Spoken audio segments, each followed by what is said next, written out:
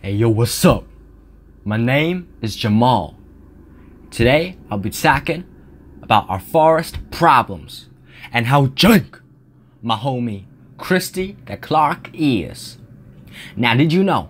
Did you know that thousands, thousands of jobs have been exported in wood processing every year? That's a lot of jobs, man. In fact, Ontario's forest companies have created five times more jobs than we have. You feel me? Now that's some crazy.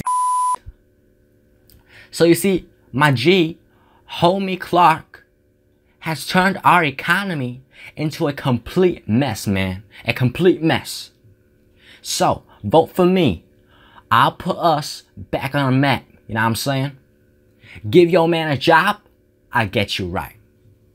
Make BC great again. Alright?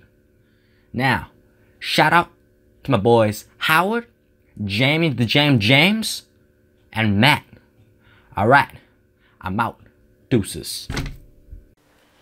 I'm Jamal and I support this message.